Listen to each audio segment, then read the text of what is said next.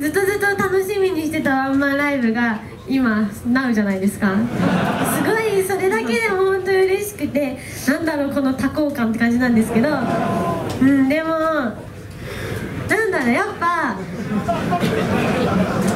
そう幸せいっぱい幸せなの。タコってなんだろうな。